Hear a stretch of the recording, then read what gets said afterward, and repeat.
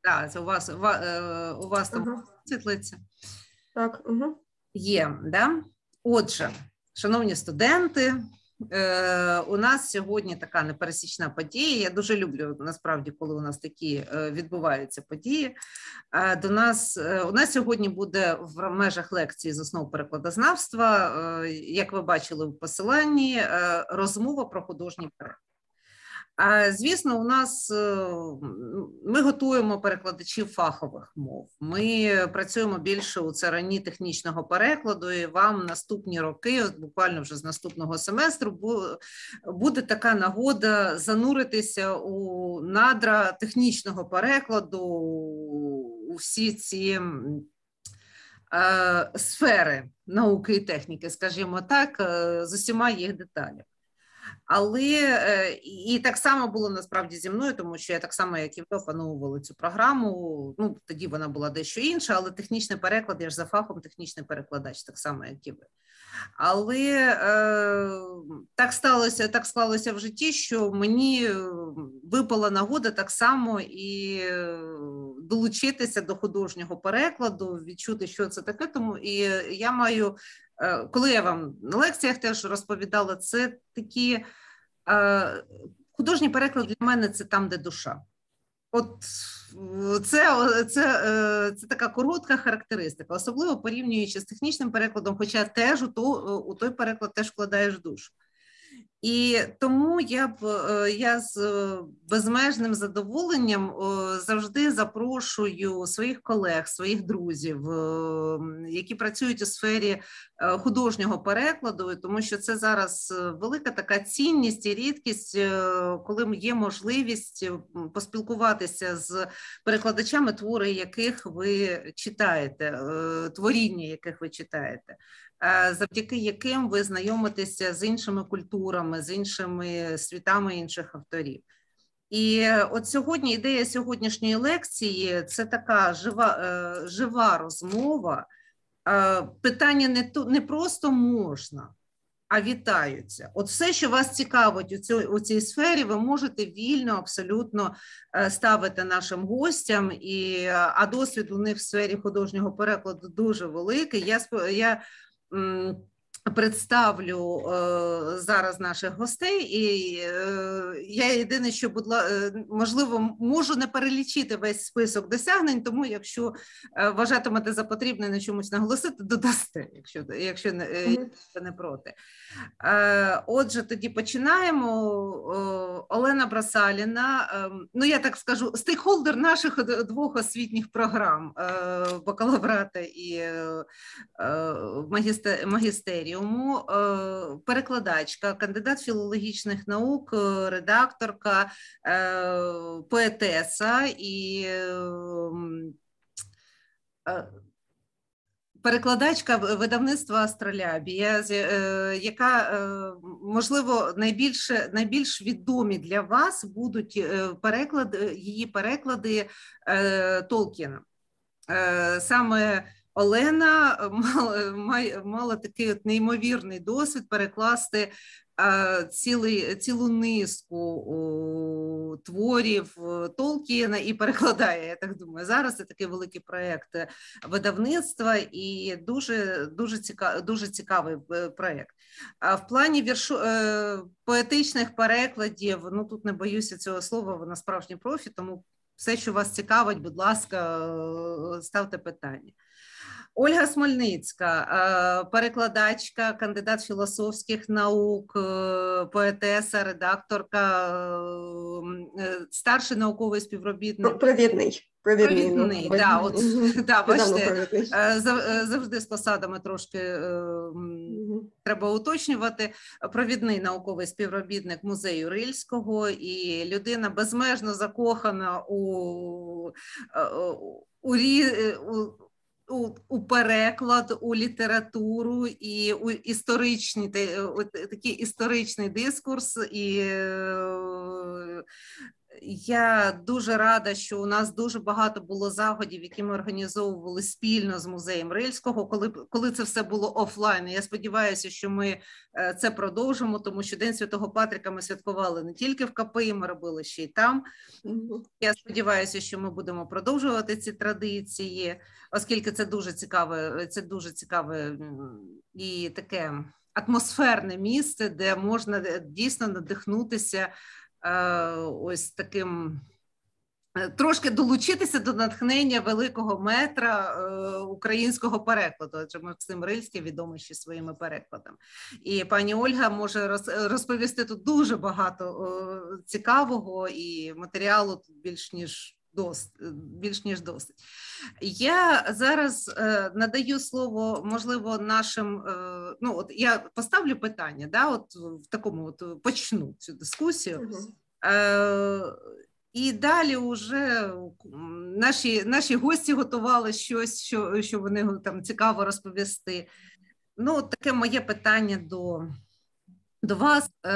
Як як так сталося, що ви прийшли у сферу художнього перекладу. Як як склалося, тому що за ну чому ставлю це питання першим? Тому що е, у кожного це завжди свій шлях. Е, наші майбутні перекладачі готуються обирати свою сферу. Їм цікаво, а як же? Тому що там художні перекладачі, це ну у мене для мене це було завжди колись, коли ми там вчилися. Це було таке відчуття, це небожителі. Це люди, які з якими я ніколи не познайомлюся, я ніколи не буду. Е, я, е, е, Це десь там на Парнасі, ми тут на землі. Але це живі люди, це реальні люди, у яких є свій досвід і своя історія становлення в сфері художнього перекладу. От як ви дійшли до такого життя? Да? Як, З чого все почалося? Де була відправна точка? Ну, власне, е, доброго дня, товариство, шановне. Е, можу розпочати відповідати на це питання, озираючись у минуле. Е, пригадую, що ну, в старших класах школи я навчалася в гуманітарному ліцеї при університеті. Ми вивчали англійську, і мене вабили От е, ті поетичні речі, які, скажімо, нам подавали на на, на наших уроках з англійської, е, трохи там Роберта Бернза. Ем, ще я побачила у своєї однокласниці Томик Едгара По е, в оригіналі. Це ж в ті до інтернетні часи. Це велика знахідка знайти оригінальні тексти. Але от далі, от такого бажання перекладати в той час я не присунулась, натомість уже е, в студентські роки, коли я ем, познайомилася з творчістю Ігоря Качуровського, який водночас і поет, і перекладач е, без перебільшення геніальний, то я вже мала перед собою приклад, такий живий приклад перекладача, е, перекладача поезії, зокрема, і вже я ем, спробувала таки Е, матеріалізувати свою мрію, перекладати і е, перекладала поезії, які мені були близькі. І знову ж таки, часи до інтернетні, тобто знайти оригінали було надзвичайно складно. Е, це або бібліотека, або на книжковому базарі Петрівка вже можна було придбати томики з серії Penguin Books, і там я придбала і англійських романтиків збірку і поетів 17 ем, століття, де мої улюблені були Джордж Герберт і Генрі Воєн, поети метафізики англійські. Придбала томик Вільяма Блейка, який також зайняв е, одне з таких провідних місць у моєму ем, каноні особистому поетичному світової поезії. І словом були зроблені спроби, і я наважилася е, наважилася першу спробу, яка мені принаймні самій сподобалася. Це була не перша спроба, але перша спроба, яка мені сподобалась. І це був сонет е, Мільтона на е, свою сліпоту. Такий вибір, звичайно, трошки дивує, можливо, але знов таки з огляду на дефіцит оригінальних текстів. на те, що складно було роздобути оригінали, то можна цей вибір зрозуміти. І Ігор Качуровський, якому я цей переклад надіслала на рецензії, а водночас його дружина, муза, помічниця в перекладацькій праці, пані Лідія Крюкова Качуровська. Вони серйозно розглянули цей мій переклад і вельми схвально склали оцінку, навіть порівняли з наявними перекладами е, Дмитра Павличка, Михайла Ореста, і на мій величезний подив віддали перевагу моїй версії. Ну, це, звичайно, мене надихнуло, підбадьорило, і якраз е, тривали мої студентські роки. Потім вони плавно перейшли в роки аспірантські, коли така була ніби позірна свобода, тобто можна було нібито присвячувати час своїм улюбленим заняттям. Хоча, звичайно, що е, час розплати наближався, і треба було і роботу писати, е, і захищати. Е, словом, я користалася наповну цією свободою і перекладала в шухляду своїх улюблених поетів, і вже згаданих тут і Джорджа Герберта, і Генрі Воена, і і Блейка, і Вільяма Вордсворта, і Семюела Тейлора Колріджа а, та інших. Е, словом, е, назбирався в мене досить великий багаж шухлядний, такий, так би мовити, шухлядний. І, ем, звичайно, що настав момент, коли мені захотілося опублікувати щось зі своїх перекладів. І перший опублікований переклад Рік, можливо, я не зовсім точно можу пригадати. Ну, мабуть, це кінець 90-х, ну, словом, біля 2000 року це журнал Сучасність, і це був твір ем, Маргарет Кавендіш, е, герцогині, поетеси, жінки надзвичайно вченої, освіченої. Жила вона в 17 столітті е, і написала вона е, поему Полювання на зайця. Е, поему дуже цікаву, е, оскільки леді Маргарет в цьому творі висловлює такі прогресивні для свого часу ідеї про те, що людина не має права нищити Божих створінь, того зайчика, за яким женуться мисливці з хартами. Е, тобто треба шанувати життя, це Божий дар, і водночас вона там ем, пропагує ідеї вегетаріанства, е, тобто вона засуджує людське це таке кровожерне м'ясоїдство. Е, і можемо здогадуватися, що очевидно там чоловік леді Маргарет е, герцог Кавендіш, він дозвілля проводив там на коні, полював, а його дружина, от так в літературній формі висловлювала свій погляд на ці речі, і е, погляд, який не збігався з поглядом її чоловіка. Словом, це був початок. Це був початок, і треба, звичайно, згадати ту точку відліку, коли перекладацтво вже е, пересунулось моє в такий фаховий бік. Очевидно, це треба згадати перше перекладацьке замовлення. І перше перекладацьке замовлення надійшло від видавництва Астролябія Львівського, в якому я і зараз працюю.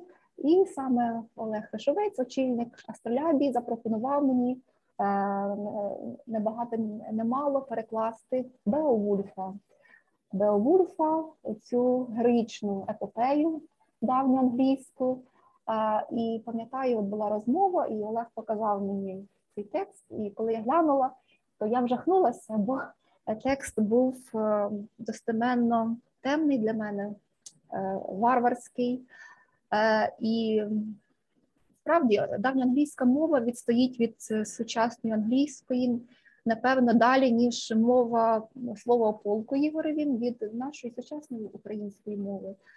Це великий масив лексики, яка не збереглася в сучасній англійській, ем, і це граматика, яка Е, більше тяжіє, скажімо, до сучасної німецької, тобто це давна англійська це синтетична мова з дуже складною системою відмінювання і іменних е, частин е, мови і дієслів.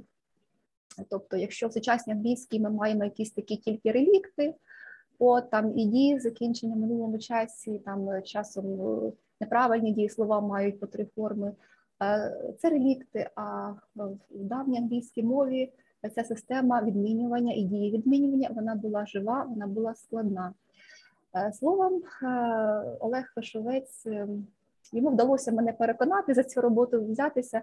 А тут ще упередження моє полягало в тому, що ну як же ж англосакси, а в мене вже тоді були дуже сильні симпатії до кельтського світу, до Ірландії, до ірландської культури, до ірландської поезії, зокрема середньовічної. Ну як можна перекладати оцих грубих саксів, які е, взагалі е, кельтів е, з загнали там десь в Ірландію і оселилися на Британських островах і запанували там. Тобто це агресори, це варвари, грубі, невиховані і так далі, м'яко кажучи. І все-таки в якийсь момент до мене прийшло усвідомлення, що неважливо, по який бік, от умовно кажучи, кордону, палало оце вогнище, біля якого сиділи воїни, і дружинний співець співав їм героїчні пісні під звуки арфи. Бо це все високе мистецтво. І минуло вже стільки століть, що справді вже настільки важливо, а важливі вже е, політичні переконання тих співців, тих воїнів, які насолоджувалися цим співом, цими героїчними піснями. А мистецтво воно збереглося, і треба бути вдячними невблаганному часові, і треба бути вдячними Богові, який зберіг цей єдиний манускрипт Беовульфа, опалений по краєчку під час е, пожежі в бібліотеці, і треба бути вдячним, що ця перлина е, раннього раннього середньовічня середньовіччя збереглася. Власне, перша е, середньовічна епічна поема на теренах Європи.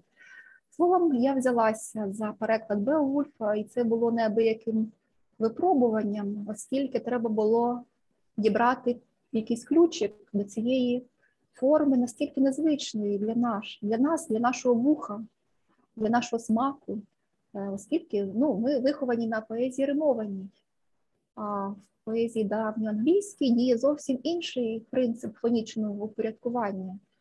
Там діє алітерація, тобто співзвуччя не закінчень слів, а співзвуччя якраз їхніх початків, точніше, переднаголошених приголосних або ж груп приголосних, оскільки у давньоанглійській, як і в інших е, давніх германських мовах, е, наголос е, припадав на корінь, на перший склад корені.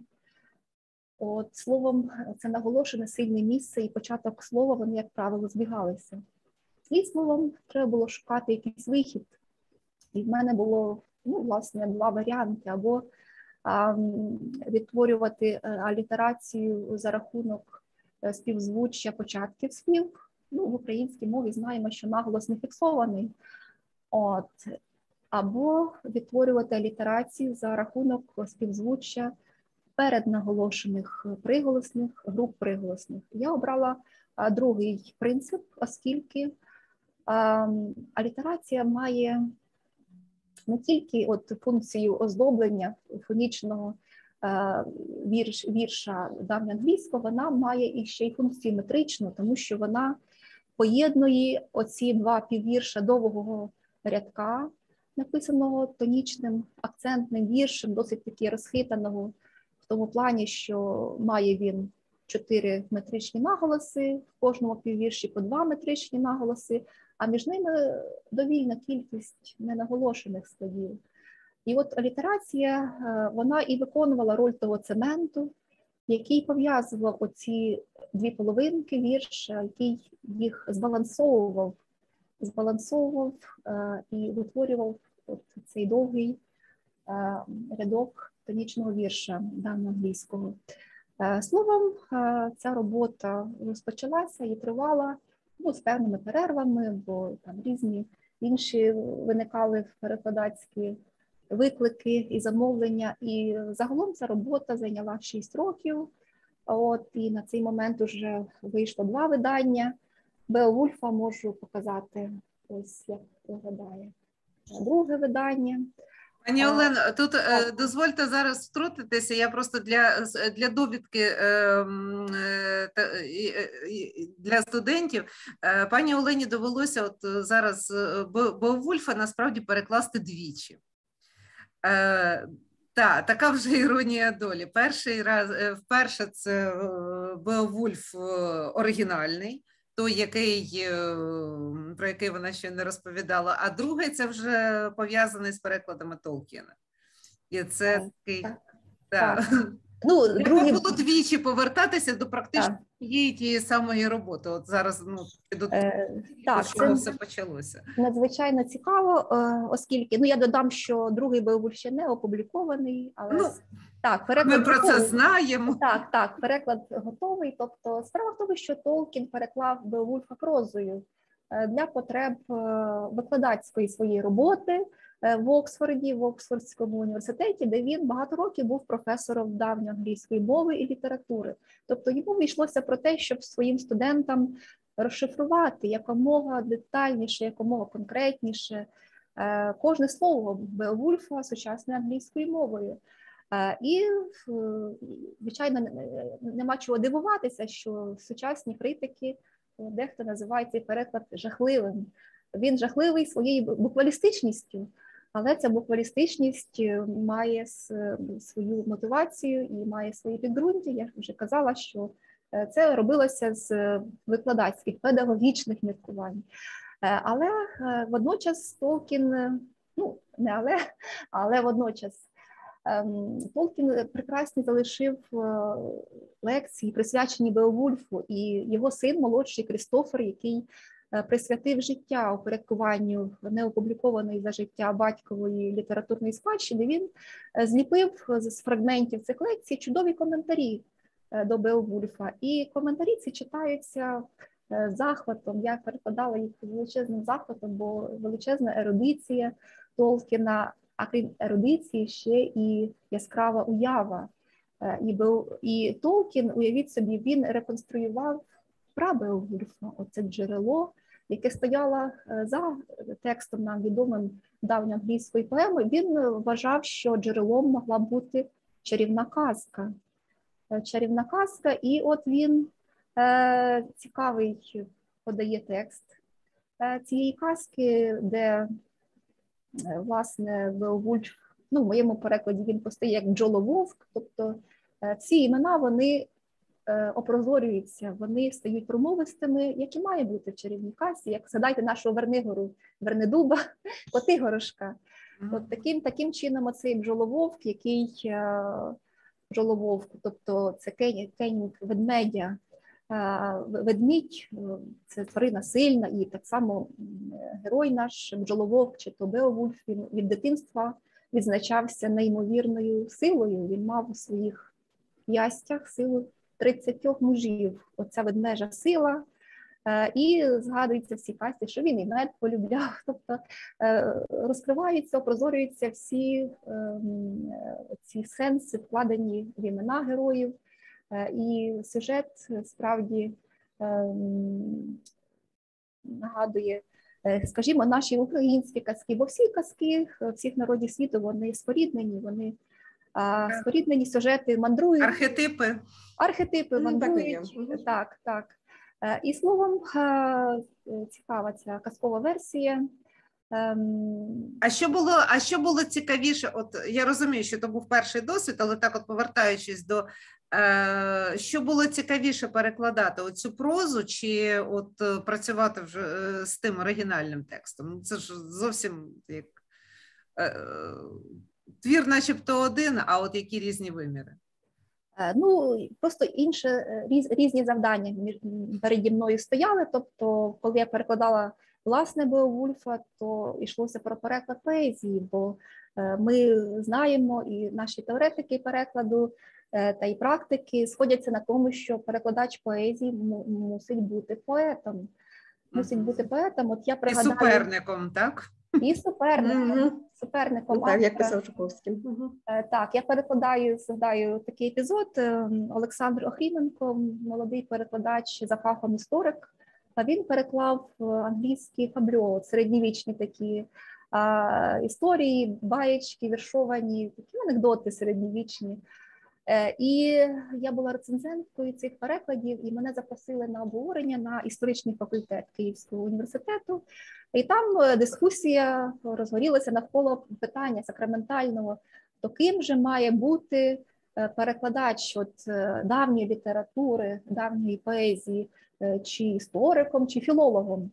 Ну, я послухала, слухала цю дискусію і висловилася в тому плані, що передусім цей перекладач має бути поетом. Безперечно, він має володіти глибокими знаннями з історії того періоду, до якого належить твір е, перекладуваний, Е, має бути знавцем мови і мови оригіналу, і рідної мови. Але е, найважливіше, щоб е, не втекла оця квінтесенція невловима, яка зветься поезією, яка зветься поезією.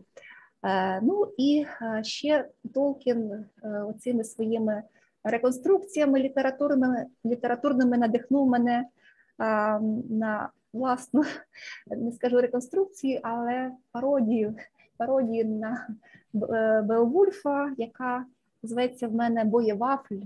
Боєвафль. І Ольга Павлівна, я дуже дуже вдячна Ользі Павлівні за те, що відбулася навіть постановка цієї пародії е, під дахом Так, ми погралися. Білоцерківського будинку органної камерної музики. Е, Школярі, от, старшокласники, вони з таким коражем представили цю віршовану е, таку трагікомедію, можна сказати. Це було це було незабутнє.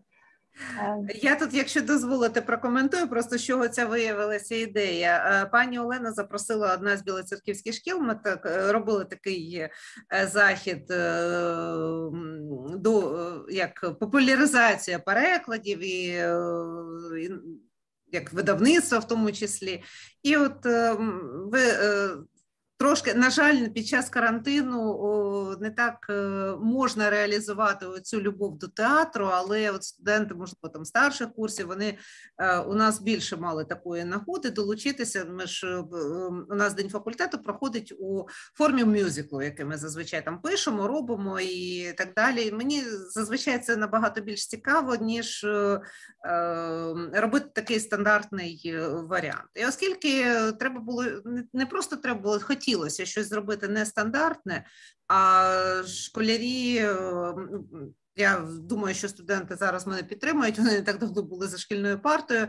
Е, Завжди цікавіше щось робити не нудно, захід не нудним. Ну, ось в мене була така ідея, тим паче, що я коли прочитала Боєвафля, я дуже люблю пародії. Я сама ці всі мюзикли пишу зазвичай в такому гумористичному форматі. Е, Вони підтримали оцю ідею. Я запропонувала його. Він дуже легко розкладався на ролі, і е, народилася така ідея, яку ми дуже ну. Наскільки вдалося реалізувати, але такий е, захід вийшов такий непересічний, але цікаво було. От дійсно цікава, така добра була подія. Якраз десь взимку ми це робили. Якщо я не помиляюся, то Так, в лютому пам'ятаю. Так. В лютому. тому. Якщо, якщо, е, якщо хтось з вас захоче з в межах е, е, історії зарубіжної літератури так долучитися, можемо повторити. Дуже, принаймні, сценарій десь сценарій розбитий боєвафель на сценарій. В сценарії в мене десь був. Чудесно. Пані Олено, я, якщо можна, зараз е, передам слово пані Ользі Смольницькій, тому що е, у Олі е, теж дуже цікавий досвід в плані от, приходу до, до художнього перекладу. Е, оповісте Так, е, так, пані Ольго, для вас художній переклад з чого все почалося. Так. Власне, пригадати, з чого все почалося, досить важко, але я спробую. Е, Принаймні, як і у пані Олени Олєр, у мене в шкільні роки були спроби перекладати, причому базова теж була англійська мова. Е, І, зокрема, цікавив Вільям Шекспір, у тому числі його сонети, цікавив Роберт Бернс так само, причому е, його поезія я знала на пам'ять. Але цікавили близько споріднені мови. Звичайно, ці спроби не були на той час досконалими, і я не вважала, звісно, себе перекладачкою, причому системно. І, власне, більш системно почала працювати з перекладом, коли була студенткою. Але це було хобі. Суто для мене хобі, тому що я любила англійських романтиків озерної школи, американську романтика Емілі Дікінсон, геніальну поетесу. Власне, почалося з того, як я відкрила її твори для себе. Ну, Це головні імена імена, які принаймні назву. А далі далі вже про більші, е, більшу кількість спроб можна говорити, коли я вже була аспіранткою Київського національного університету імені Тараса Шевченко, філософський факультет, де, до речі, я захищалася спеціальність спеціальністю українознавства, у мене було українознавство, філософські науки. І Власне, теж можна було поетичний переклад, я наголошую саме поетичний, хоча прозові теж були, назвати моїм хобі, тому що передовсім я себе спочатку вважала письменницею, в тому числі поетесою, потім, коли це вже був систематичний науковий шлях, то передовсім вважала себе науковцем. І зараз у мене е, провідна така стезя я науковець, провідний науковий співробітник, але перекладацтво почало забирати і більше часу, і так би мовити, специфіка мого творчого шляху. Я зрозуміла так, що різні шляхи доповнюють один одного, принаймні в мене так було.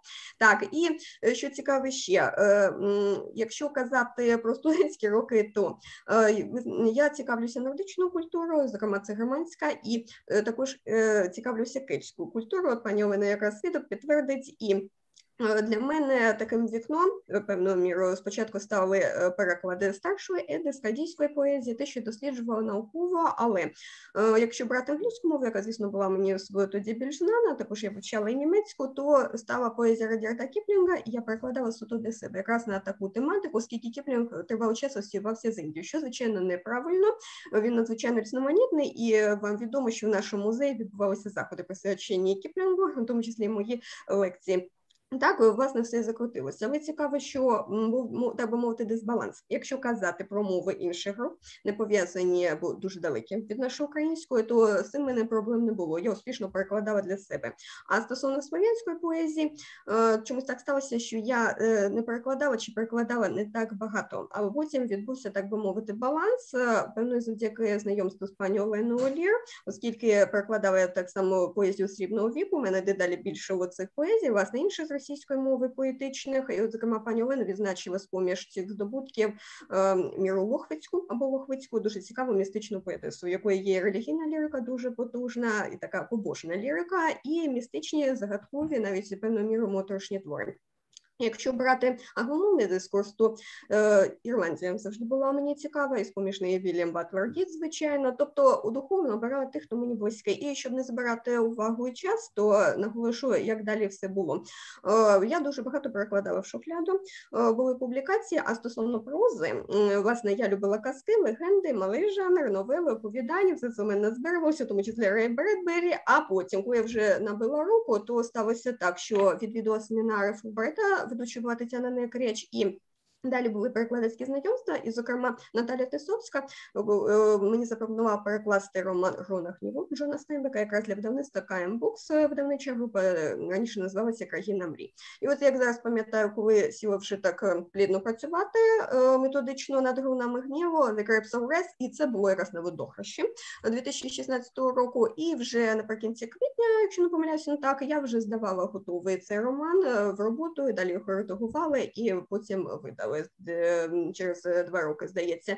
І Власне, е, на сьогодні в мене, якщо брати прозу, то видано 9 прозових книг. Це романи повісті з англійської мови, тому числі Стейнбека, Фолкнер, це сучасна література, Майкл Добс, Джеф Вандермеєр. Це якщо брати видавництво Астролябія, то Джорджетт Геєр. Це що цікаво, до речі, з поміж виданих е, в моєму доробку майже всі це чоловіки. А Джорджетт Геєр, письменниця, яка свого часу була конкуренткою Агати Крісті, це виняток, який підтверджує правило. І в плані прози це мені пропонували, тобто з мого боку пропозицій не було. Але факт, що це було надзвичайно цікаво. Я згадую свою справу роботу скажімо, над Стейнбеком, тому що вела свою картотеку. Стембека надзвичайно колоритне мовлення, особливо про хронах Нєво. Це суміш різних діалектів, е, говірок, Оклахома, Каліфорнія. Далі, наприклад, зустрічаються е, з тими, хто їдуть далі, і з говору впізнають, що вони з Техасу. Та не просто з Техасу, а з виступу Техасу, тобто теж там своя говірка є і так далі. Звісно, в мене була задача творити це українською мовою, і в картотеці в мене були і синоніми, у тому числі діалектизми, як це має зазвучати по-нашому. Але знову ж таки, щоб не було занадтої надмірної українізації. Власне, це питання, яке досі хвилює наших прикладачів, прикладознавців, як зберегти цей баланс, щоб не надто українізувати, показати Америку Америкою, англосаксів англосаксами і так далі. Це так е, дуже стисло. Тепер, якщо казати про поетичні антології е, і журнальні публікації, так звісно, вони в мене є. І, наприклад, можна сказати про досягнення 2020 року. Це антологія Європейська середньовіччя літературних флоріведіум. Це власне середньовічна література, цілий шар різних культур різних літератур, і в антології багато моїх перекладів. Е, дехто полічив, каже, ну 75% точно не береться. Для мене це було розумієте, те, що було писалося в шухляду свого часу, перекладалося, потім дочекалося на свого часу. Тобто це і скальзійська поезія зі старої сланської, зі старонорвезької, це балади, в тому числі з мови скоцею, та Багато всього іншого. Також, якщо більш ранній період взяти, то це антологія Радіарда Кіплінга Сімурів Seven Seas, вона вийшла як білінгва.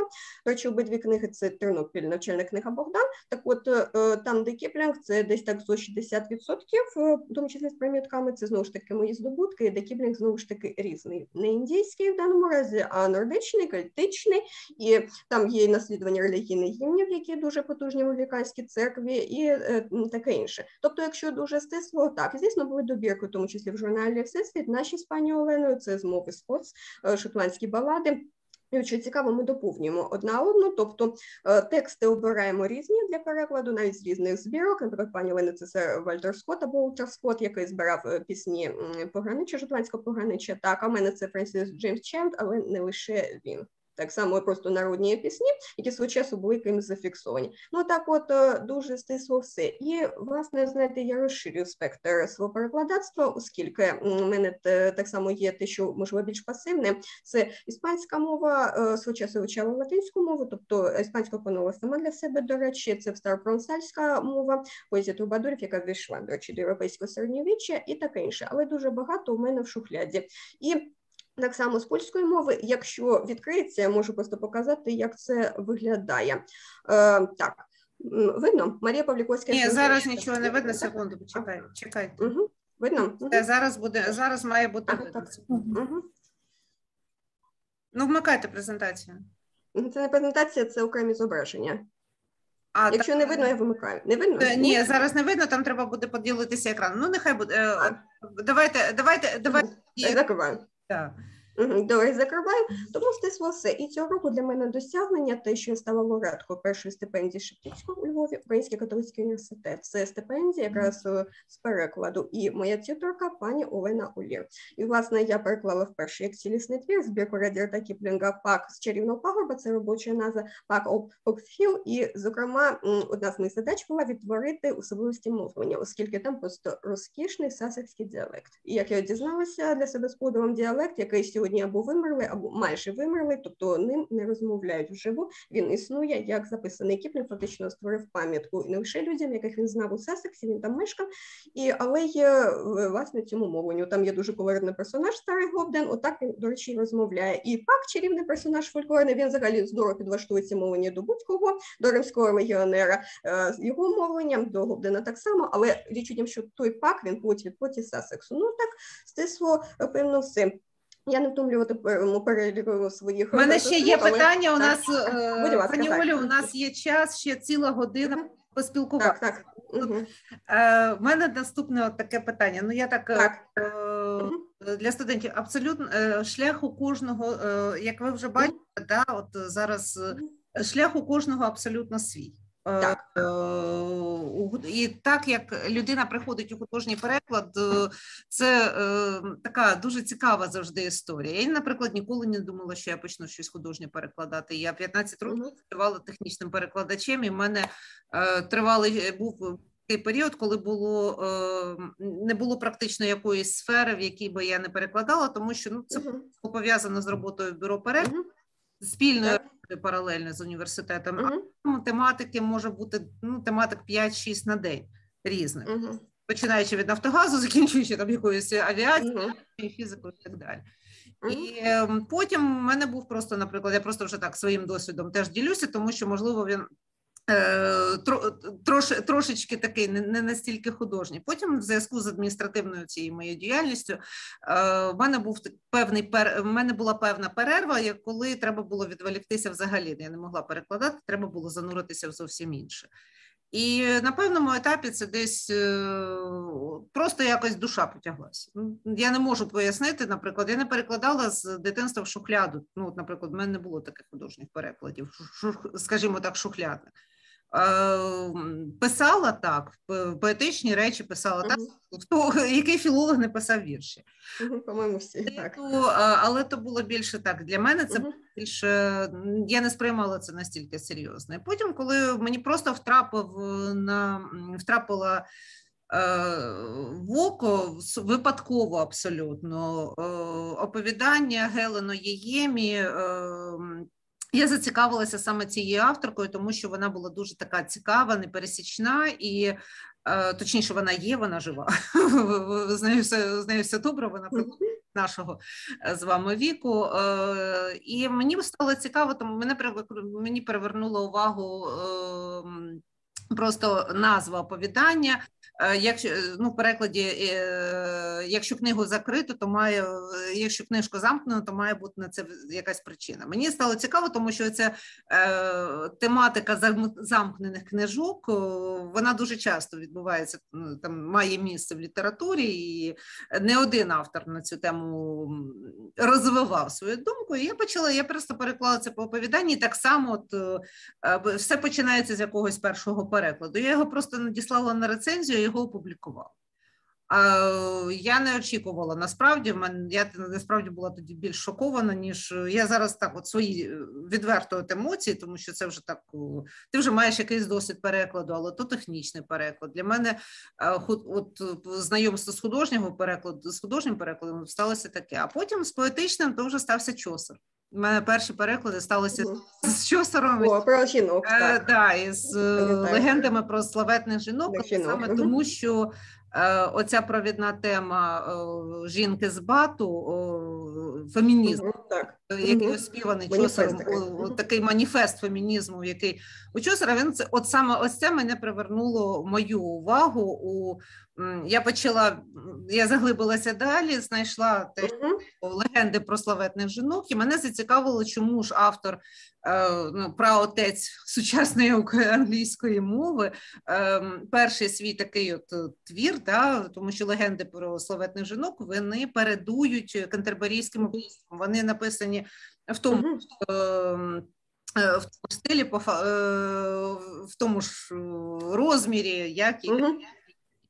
І е, мені стало цікаво, чому він присвятив у тому середньовіччі, у тому давньому, е, у ті давні всю- о, трина, е, скільки там 13, здається, розділі він присвятив жінкам. Причому оспівані саме саме жінки, а не ну, чи крізь призму чол- чоловіка. Ясно. Це жінка навпаки акцент на дуже цікаво, як так. вони страждали і так далі. Навіть той Мгм. Е, ті самі міфи про е, і все це базується на давньогрецькій міфології.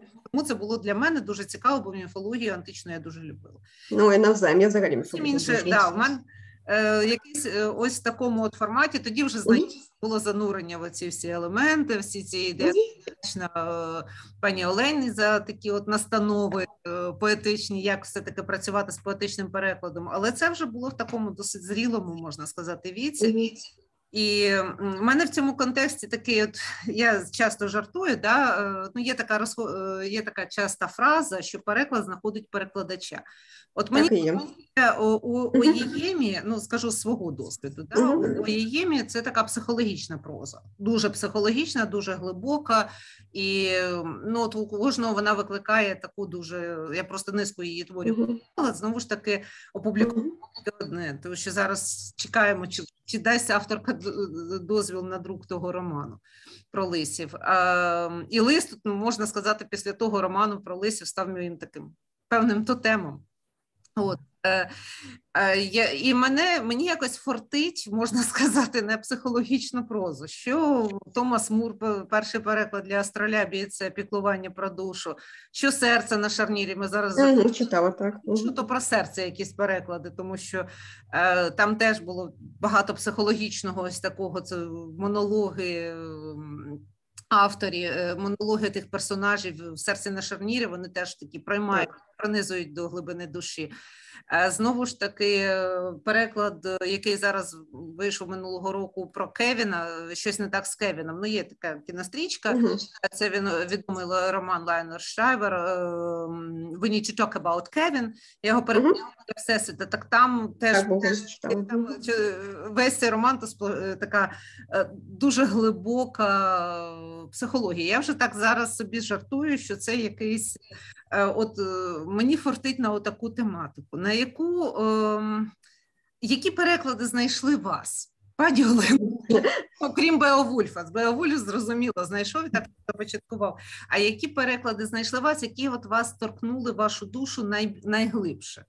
Бо я наприклад, Кевіна від е, ну, півроку не могла сісти за жоден переклад, тому що настільки глибокий, настільки важкий, ну психологічно був твір як на мене. А чи було таке, які переклади торкнули вашу душу, які от е. Е, які знайшли вас у певний час, потрібний час вашого життя? Скажімо так.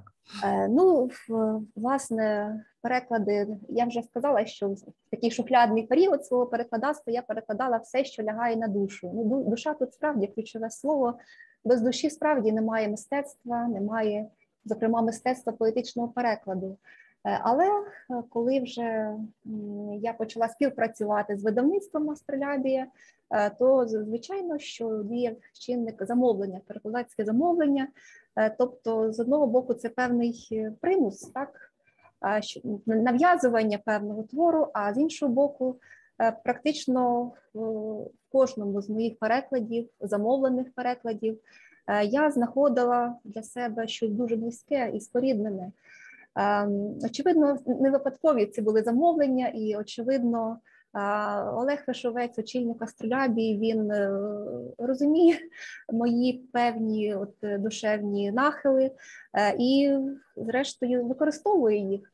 Е, тобто ем, Толкін почалася епоха Толкіна. Епоха Толкіна почалася ще.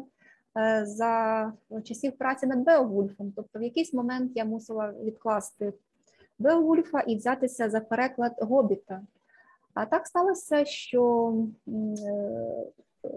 з Толкіним я була практично незнайома. Незнайома до початку цієї праці перекладацької. Якось оминув мене переклад Олександра Мокровольського, так на якому виросло, от, можна сказати, моє покоління. Ем, І я вперше зустрілася з героями Толкінівськими, із е, Гобітом Більбо, таким домувальником, і любителем комфорту, і, і гномами, і чарівником Гандальфом. І це для мене було вперше. Е, і з одного боку дуже важко було працювати, оскільки перший переклад великого прозового твору, а до того я перекладала поезію. Ем, поезію ем, тільки поезію. І тут от великий твір е, прозовий, і добре, що в цьому творі, от на зразок ірландських саг, які Е, орнаментувалися такими поетичними вставками у Гобіті. Толкін також вставляє в текст е, пісні, поезії, пісні, які співають чи то е, гноми, чи то ельфи, чи то ті страшні гобліни. І от я рухалася від пісеньки до пісеньки. Від пісеньки до пісеньки, які були ніби маячки в моїй праці. Словом, оця предилекція до поетичного перекладу, вона звичайно, діяла в моєму перекладацькому житті, і я дуже часто згадую слова Олександра Мокровольського, першого прохідця у плані перекладів Толкіна в нашому перекладацтві, і в якомусь радіоінтерв'ю його журналістка запитала: а що все-таки легше перекладати поезію чи прозу? І Олександр Миколаєвич відповів, що мовляв. Е, прозу може й легше, але поезії приємніше. І Оце міркування я цілком поділяю.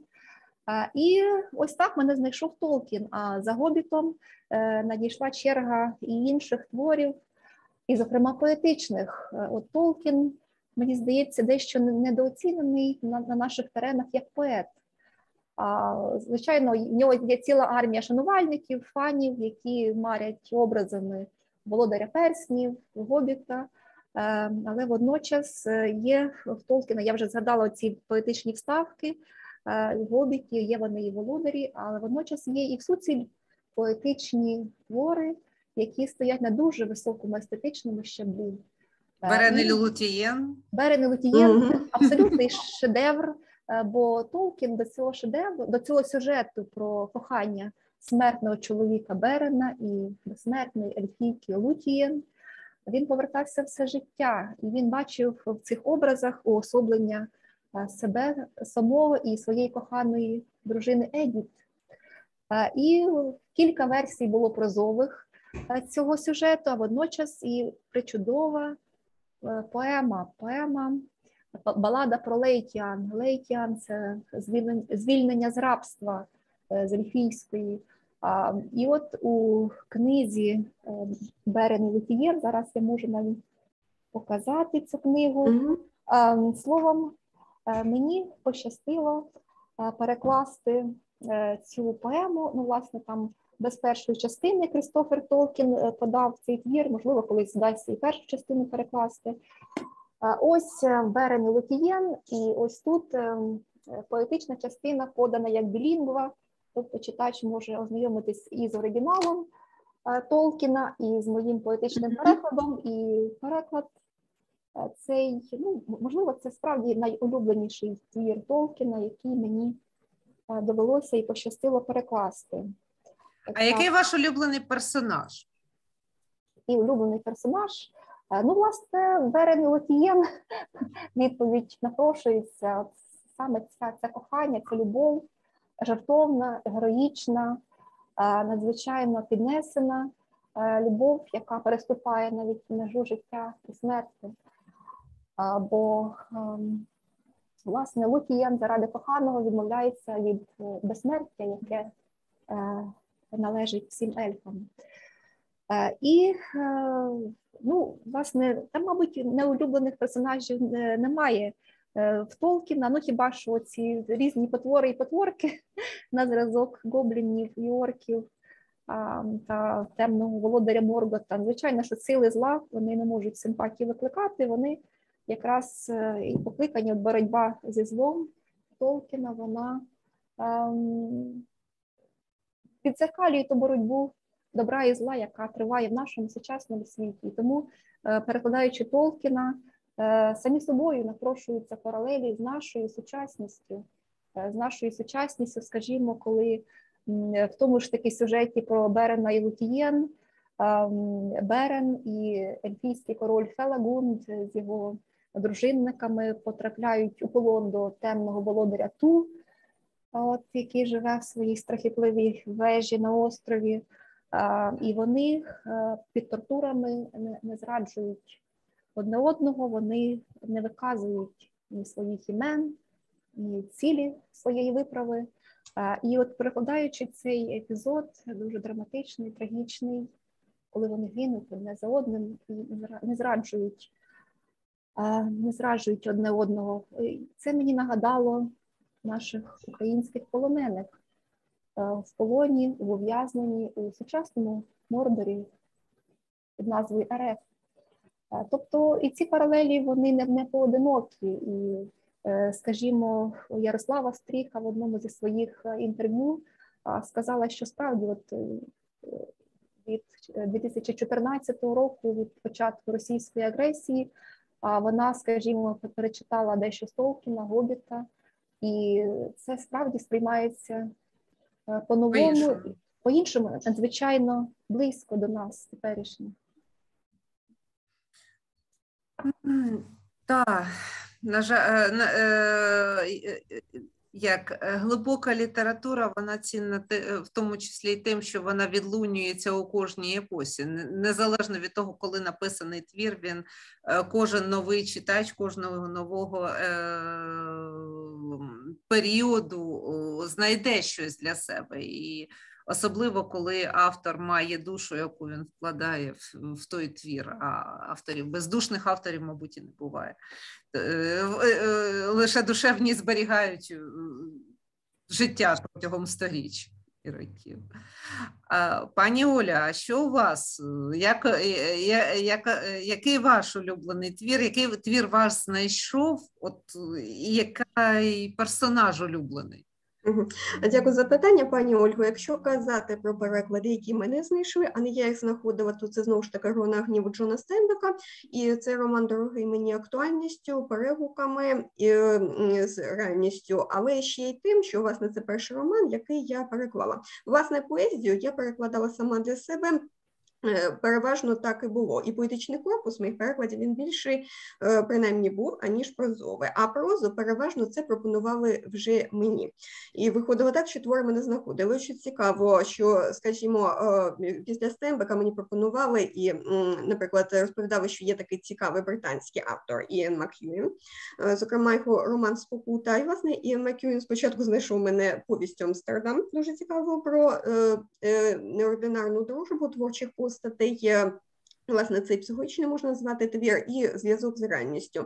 Так само роман Спокута, який виявився близький не лише описом е, мирного життя, дуже цікавої Англії до Другої світової війни, але й описом Другої світової війни. Причому автор чесно зазначав, що він там е, використовує певні алюзії з Ремарка, якщо не помиляюся, з Гемінгвея, з інших авторів і особливо і тоді були, як модно казати, в тренді.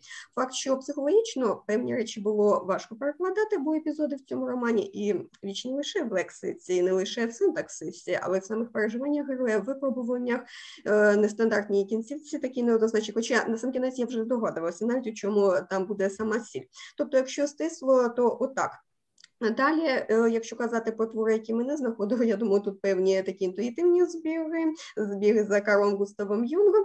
Е, е, ну, то, певно, такий, така різниця є між поезією і прозою. Переважно проза, велика проза, сама мене обирала виняток, принаймні цього року був саме зі збіркою Пропака, про яку я казала, Радіота Кіплінга, тому що я запропонувала Українському католицькому університету центру митрополита Андрея Шептицького цей переклад, власне, е, над яким працювала і хотіла працювати надалі. І вийшло так, що виграла цей конкурс і відвідувала Львів, центр Шептицького, Український католицький університет вже як резиденцію. Тобто це вже була пропозиція з мого боку. Е, так, були твори, до речі, якщо брати поезію саме, які мене знаходили, і це твори, які наразі ще не опубліковані саме в моєму перекладі, принаймні вони опубліковані частково як ілюстрації до наукових праць. Це поема Джона Мілтона «Втрачений рай» і Хочу сказати, е, пам'ятаю наші е, зустрічі у вас в КПІ, також ще альмамати, причому це було не один раз, як зараз згадую. Неодноразово, так. Так, неодноразово, Скотиш Швест і так далі. І до того зустрічі, коли я казала, сповідала студентам, е, на якій книзі втраченого раю зараз я перебуваю, а потім вийшло, причому так скоро, що переклався вже весь цей твір поема. І що цікаво, у нас в музеї ми часто жартуємо про те, що переклад це ще й весело, так як і література. Причому це так, причому гумор може бути в несподіваних місцях. Коли перекладав Мілтона, то е, звісно, це геній, і це надзвичайно насичений твір. До того в мене була вся підготовка на чітності, в тому числі Біблії, але коли я перекладала, е, думала вже про лексику. Що тут автор щитує трикстер, він грається зі стилем. Тут моя задача вже вловити це його трикстерство. Причому це було не один раз. І коли цей переклад вийде, сподіваюся, буде в тому числі в перекладознавців порівняти з вже е, е, перекладом Олександра Жомніра, який вийшов. Ну то, якщо стисло, е, то мабуть так. І що цікаво ще власне про переклад власної творчості, поетичної, прозової і перекладу, то я авторка вісьмох книг, причому одна з них наукова це монографія, а решта це художні. Причому принаймні останні з моїх художніх найголовніші були доповнені ще й перекладами, які тематично лягали на те, що висловлював вже я, як як авторка. Ну, принаймні, певно, так все. Ну, якраз поєднання е, науки і практики це завжди найкраще поєднання, тому що можна е, е, одне підсилює інше. Я зараз пропоную. У нас тут десь так півгодинки до кінця лекції Мгм. залишається. Можливо, у наших слухачів, у студентів є запитання. Давайте, можливо, ось так. Хто хоче щось запитати, у кого назріло питання, тому що було б дуже цікаво почути вас. Так, я маю запитання. Давайте, Яна. А скільки приблизно в середньому ви перекладали твор, прозовий твір? За Скільки часом? Займали часом, да, так. Ну, е, залежно від завантаженості, е, ну, тут е, пані Олена, пані Олю. Ну, це однозначно кілька місяців праці над великим прозовим твором. Ну, мабуть, найбільший за обсягом твір, який переклала, це е, Джозефа Конрада роман. Ностромо. Е, Оце, оця цеглина вона зайняла місяців ну, понад півроку, понад півроку однозначно, ну, може навіть е, сім чи вісім місяців. Тобто, Це твір складний, і сам стиль Конрада, який от ніби скульптор, він різбить своїх персонажів, тобто він додає кілька штрихів, ніби відходить і оглядає загальну картину, потім знову повертається до свого творіння, ще кілька промовистих штрихів додає. І ритм Нострому – це ритм морських припливів і відпливів. Тобто Конрад як моряк, який не, не один рік проплавав у торгівельному флоті, французькому, англійському. Він е, зжився з морем, з його ритмом, і оці е, періоди, е, так звані. Ну зараз ем, очевидно, це мистецтво багато в чому втрачене. А е, проза Конрада дихає цими періодами, великими такими членуваннями тексту, е, ніби справді приплив і відплив. Е, І е, загалом синтаксис дуже дуже складний, е, і треба було кожне речення от саме розплутувати оцю рідл, цю загадку, цей пазл, розплутувати і знову складати вже е, за законами українського синтаксису. І лексика, лексика дуже багата. Хоча Конрад е, знаємо, що він вивчив англійську мову вже в дорослому віці. Е, Однак він її вивчив у таких регістрах, що, мабуть, його можна зарахувати до тих англійських письменників, в яких е, найбагатша лексика, найширша амплітуда лексичних засобів. От і е, також він тут домішує певну частку іспанської, іспаномовної лексики, оскільки йдеться тут про вигадану країну Коста Гуану, десь у Латинській Америці, де там свої відбуваються події, там е, повстання, революції, реформи і так далі. Е, І тобто певні іспанські словечка він теж вплітає свій текст, як от е, Нострому, головного свого героя, е, він ем, називає е, Капатас де Каргадорес, тобто ну, переклад дуже прозаїчний, бригадир е, докерів, портових вантажників, але як це звучить? Як звучить? Капатас де Каргадорес. Красиво Так, звучить, так. дзвінко. Е, Так, і ось таким чином. Словом, це місяці е, важкої, виснажливої праці. А скільки, ну, от, е, якщо так, от е, скільки сторінок на день можна зробити е, ну, от в такому форматі? Як, як робочий час організовується? Ну, Е, Він дуже складно організовується. Е, Тобто, ну, найбільша кількість, ну, все-таки е, більше за п'ять сторінок дуже складно зробити. Але бувають дні, коли вже дякуєш за, за те, що одну сторіночку переклав. Тобто, е, ну, на, на жаль, складно себе взяти в такі залізні лищата і, і, і змусити робити щодня е, певну визначену кількість знаків, бо ми вже говорили, що в перекладі художньому живе душа, а душа може е, часом активізуватися, може часом е, трошки в такому приспаному стані перебувати. Е, але все це, все це душевне життя, все це мистецький процес, і, е, зрештою, навіть переступивши цю межу дедлайну, я все-таки не вважаю, що я не впоралася, я далі продовжую роботу і, зрештою, переклад з'являється на світ. Пані Олю, а як у вас? Як Е, роботу в музеї і, е, і роботу з цим? Як, як у вас з часом? Дякую за питання, пані Ольго. Стосовно е, поєднання з роботою, власне, прозові переклади, багато з них були зроблені ще до роботи в музеї. Власне, «Грона гніву» – це найбільший поки що прозовий твір в моєму доробку, понад 600 сторінок. Такий поліфонічний роман. Ну, як я вже розповіла, на водохрещі почала, причому вже багато було перекладено буквально за один день. І Далі наприкінці квітня вже роман був готовий як чорнова робота, і було його здано е, вже для редагування, вичитування і так далі. Тобто е, навіть не 4 місяці, але це за умови, що просто я могла собі дозволити сидіти за комп'ютером регулярно і віддавати вільний час, саме вільний час, е, зазначую цьому роману. Водночас поєднуючи із науковим натхненням, без цього, звісно, ніяк. Тобто проза, особливо велика і складна проза, вимагає зосередженості. Якщо казати про менші речі, скажімо, повісті Яни Макюєн Амстердам, то це книжкою вийшла десь ну, понад 200 сторінок. І загалом е, я так собі тоді підлічила, що цей обсяг може виконати за два тижні за умови, якщо е, відволікає мінімум, скажімо так, але це, звісно, поєднувати з завданнями важко. Ну, десь так три тижні, певно, можливо, в мене цей переклад і зайняв. Е, Більше часу, кілька місяців, так само пані Олени, займали більші речі. Зокрема, це Іан Макюен е, Спокута, це Майкл Добс «Хід королем. Це друга частина трилогії «Картко будиночок, це про Френсіса program. Зараз за нею був серіал за цією трилогією. Так само, якщо брати сучасну фантастику, Джеф Вентермеєр, то е, другі треті частини трилогії Південний округ це засвідчення і замирення.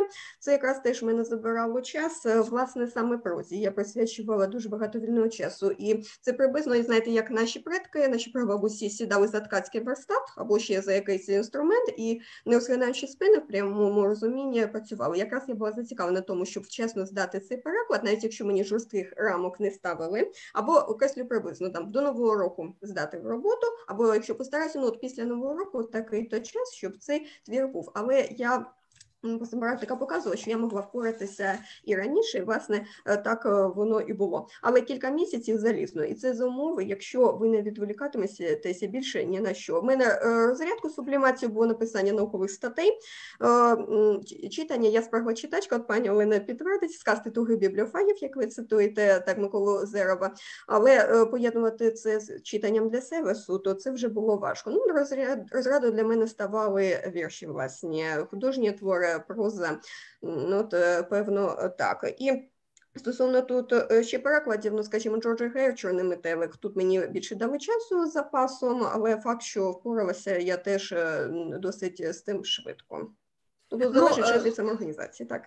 Да, це залежить від самоорганізації, але тут е, ну, у мене трохи знову ж таки, в мене трохи інший був досвід. Е, Я мала Мгм. Е, щастя чи нещастя порівняти специфіку роботи в е, бюро перекладів, е, ну як технічного перекладача і художнього перекладача. І ось для мене, коли я почала перекладати, от вже працювати над перекладом для видавництва, в мене був трохи шок в плані е, термінів. Ну, десь там до весни зробити. От. Да, отакий от непевний термін. Я як е, людина, яка звикла до дуже жорстких дедлайнів, тому що в мене Мгм. Е, основна робота все-таки ми тут це викладацька, плюс адміністративна. В мене е, і плюс, коли я, наприклад, е, працюєш над перекладом бюро перекладів, це зовсім інше. Там у тебе є е, скільки часу мінімум, тому що Мгм. буває так, що треба зробити 10 сторінок за день. Е, Іноді буває так, що де- 20 сторінок за добу, і ти маєш знати е, скіль- інша, інша специфіка тексту.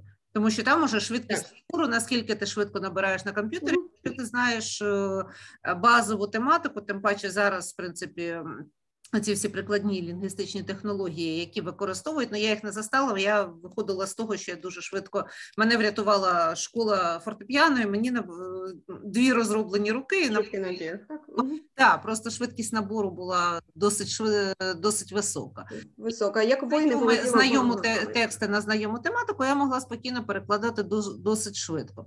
І тут.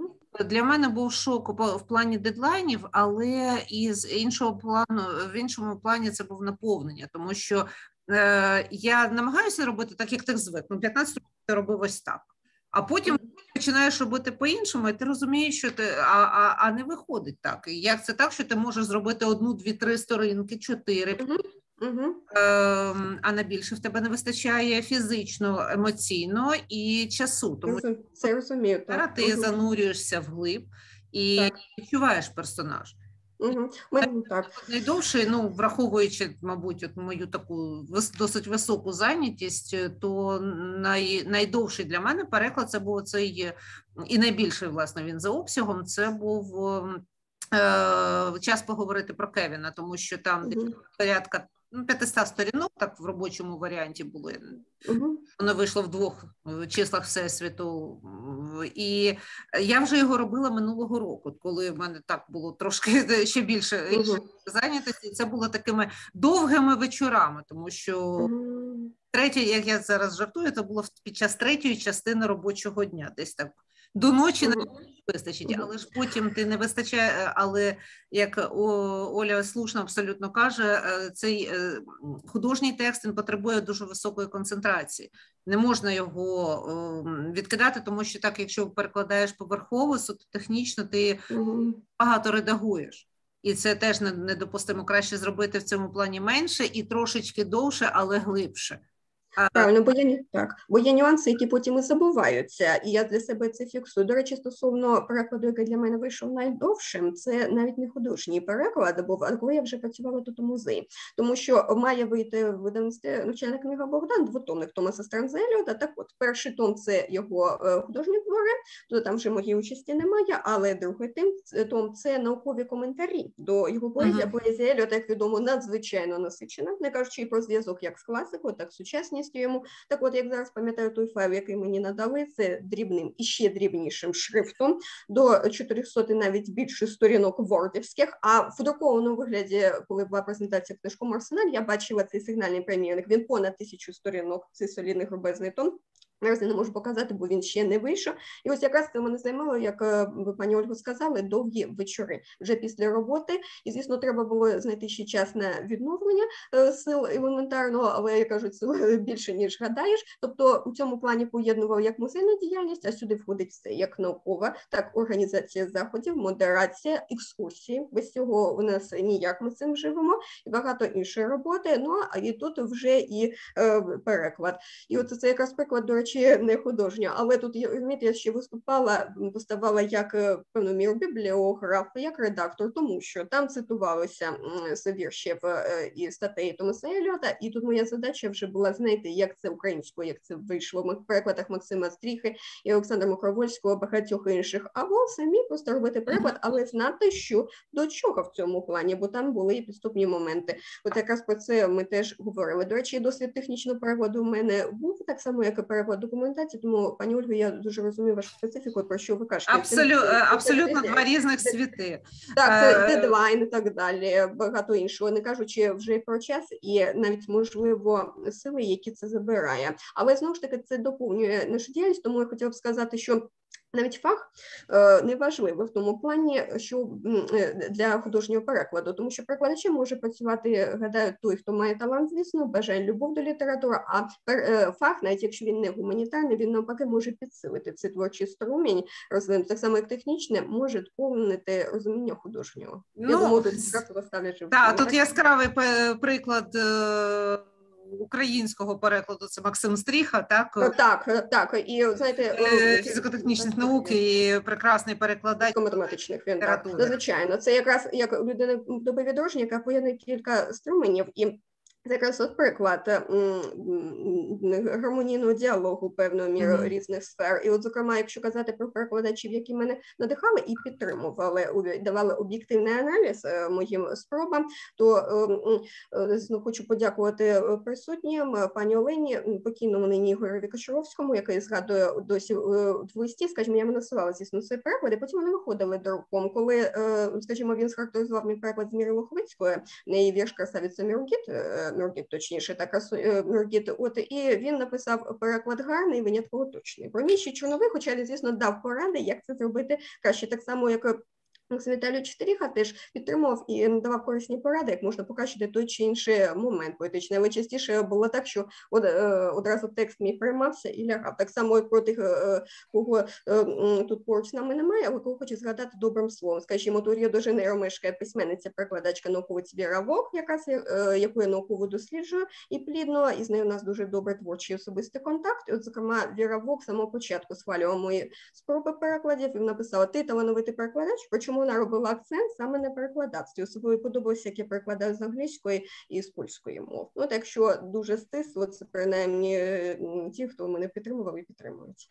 Най, е, най, е, Найцікавіше, що от, ну, от є да, є реальність життя, де де ми маємо от, е, дуже багато таких от інших функцій, але ж це насправді не тільки з перекладачами, особливо з художніми перекладачами. Мені було дуже цікаво, наприклад, під час інтерв'ю з Данилом Райаном запитати його, От, а коли ж ви пишете? Тому що в принципі він, наприклад, своїх свої переклади, свої переклади він брав з життя.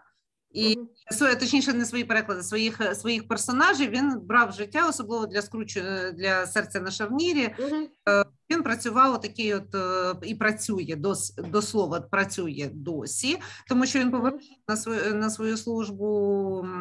Ну, на кшталт соціальної служби, і там якраз різні люди, різні різні автори, різні персонажі, яких він потім втілив. І я його запитую під час інтерв'ю, якраз для Львівського форуму, я його запитую: а ви ем, е, е, коли перекладаєте, коли ви коли ви пишете, коли ви писали ці, цей роман, як ви писали?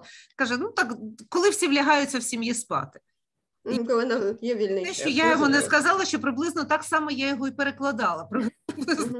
Ну, так, вже, так вже місто спить. Ну, е, У авторів така ж сама історія. Так, я і перекладачі так само, коли я перекладала допізна того ж самого Стембека або коментарі Томаса Стернза Еліота, коли е, наказували собі, що треба сьогодні тут затриматися, щоб довести до кінця. До речі, на питання, то скільки сторінок можна перекласти саме прозу, це насправді дуже однозначна відповідь, тому що багато залежить від індивідуального часу і досвіду, але мій досвід показує, я, е, я завжди фіксую просто скільки сторінок, якого конкретного розділу переклала за конкретний день. Так в мене було починаючи з тембика, це ще для самодисципліни, щоб не збавити темпу. І от, е, зокрема, е, для мене найбільшим досягненням було, коли я перекладала Джефа Вандермейра, е, так то вже заключна частина так замирення. То е, у мене був макет формату 4 і виглядала вже як друкована книга.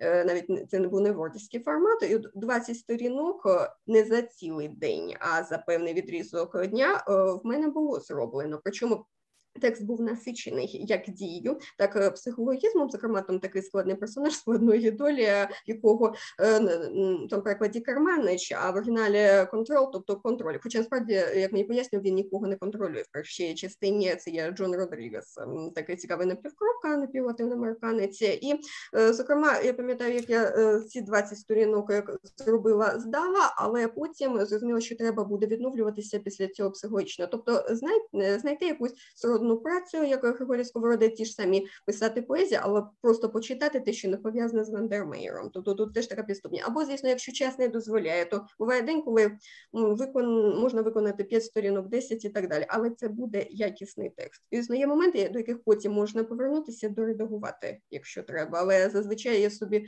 цю не дозволяю. Е, розумію, що треба робити одразу, бо потім забудеться, навіть якщо я зафіксую. Так, редагувати бажано одразу, угу. потім повернутися повертатися вже до шліфовки, бо бо mm надто надто занурюєшся. Ну, так. Питання. О, назріло ще питання, хлопці, дівчата. Так, радо відповімо. Е, так, у мене є питання і навіть два. Перше, наскільки я розумію, пані Ольга має додаткову роботу у музеї. А пані Основна, Олена... це моя основна робота. Ага вже перекладацтво як хобі. А так, для вас, пані Олено, є якась е, ще робота, чи ви лише перекладаєте? Е, я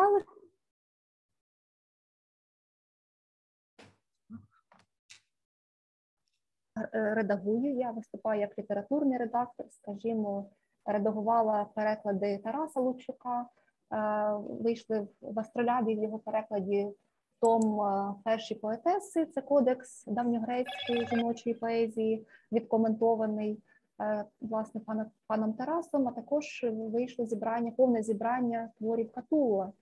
От я редагувала ці праці інші, тобто переважно я перекладач з часом літературний редактор. Ага, дякую вам. І ще одне питання на це ж, мабуть, до всіх. Як ви вважаєте, чи в Україні збільшується тенденція до читання, чи потребує зараз український ринок художніх перекладачів? Вважаю, що так. Дякую, Наталі, за питання. Е, чому я знаю, що збільшується бажання читати, і вони народ читає? Тому що регулярно, коли їду на роботу, в метро до того в електричці, а потім назад автобусом. Але якщо брати саме метро, я бачу, як народ повертається до е, класики. Я наголошую до класики, причому паперової літератури. І, зокрема, самого початку, що я бачила е, інші так само, це божественна комедія Данте, видана астролябію, це паперове видання. Далі Толкін, Гобіт, причому розкішно видане в перекладі пані Олени Олір. Так, також е, це вбити пересмішника Гарперлі в перекладі Тетяни Некреч. Е, також це Стівен Кінг, саме його найкращі твори, ем, які можна назвати класичними.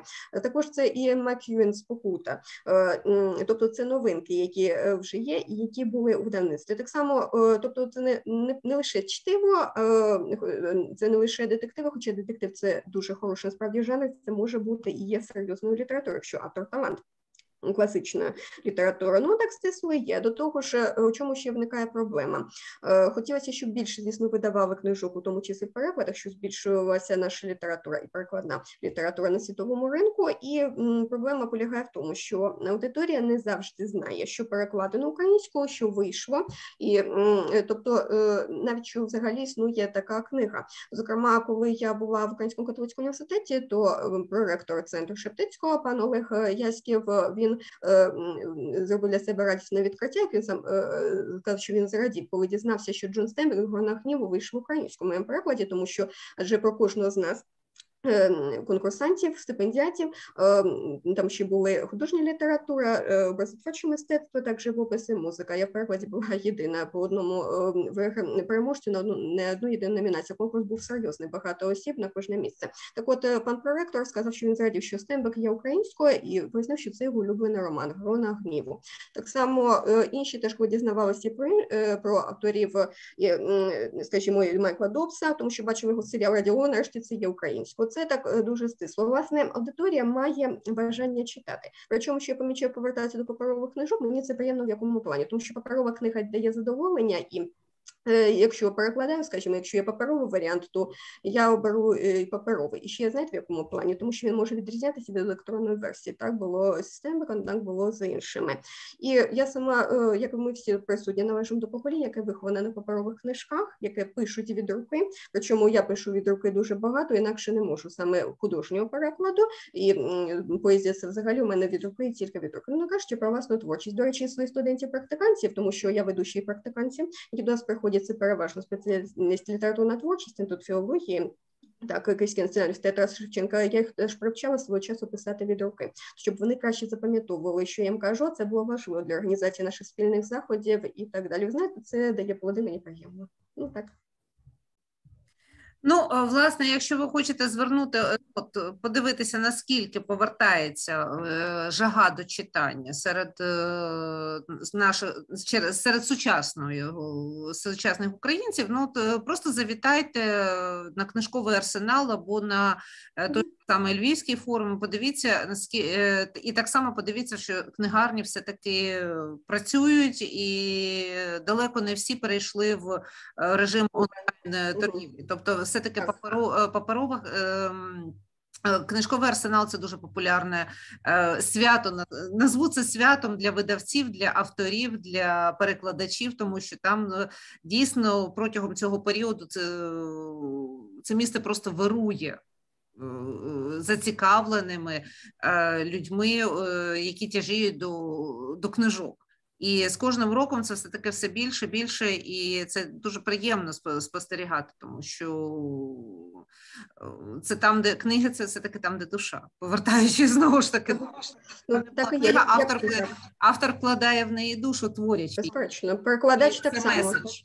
Так, як кажуть ісландці, якщо у вашому житті є сенс, то хай в ньому будуть і книги. Для мене це стало своєрідним мото. Оскільки ісландці очитані, принаймні такими були не дарма це нація скальдів. Е, і, до речі, на переклад з скальдійської поезії певною мірою мене надихнула діяльність Олени Олір, пані Олено, завдяки вашому Беовульфу. Там від скальдів, яких я дуже люблю, дійшла знаєте, хронологічно до англосаксів, і до е, середньовічних е, германських замовлянь і багато іншого в цьому аспекті. Окей, так, ще питання є?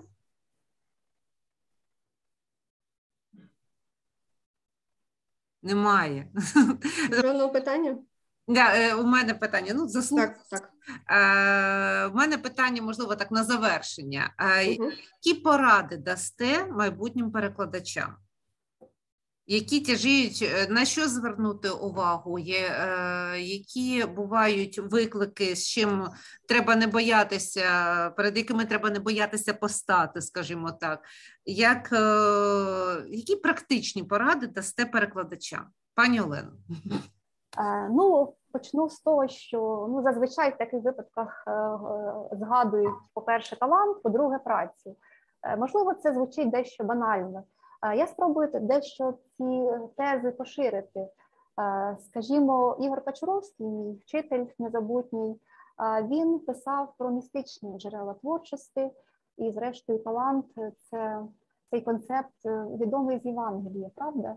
Е, Саме Господь Бог розподіляє таланти і е, завдання людини, за- за- завдання місця, творця е, зберегти цей талант і примножити його, і плоди цього таланту принести е, Богові. І Ігор Качуровський, зокрема, у передмові до розділу канонізовані строфи у своєму підручнику строфіка з його е, вишознавчого трипуху, він говорить, що власне від давніх давен поет він е, розглядався, мислився як е, медіум, як передатчик е, божественного послання.